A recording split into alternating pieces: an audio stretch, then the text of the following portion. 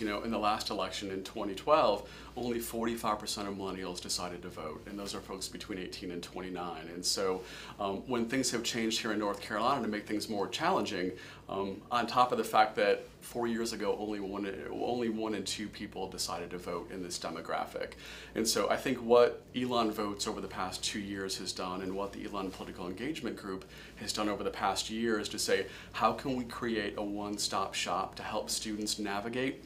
um, changes and challenges and obstacles to make things as simple as possible for them. And so we're really proud of, of what everyone has done on campus to really come together um, and put forth to make things really convenient and simple for students and to convey a unifying message. We want students to vote at the end of the day, and we are trying to make things as easy as possible for students to cast that ballot, whether it be here in North Carolina or from the state of their permanent residence.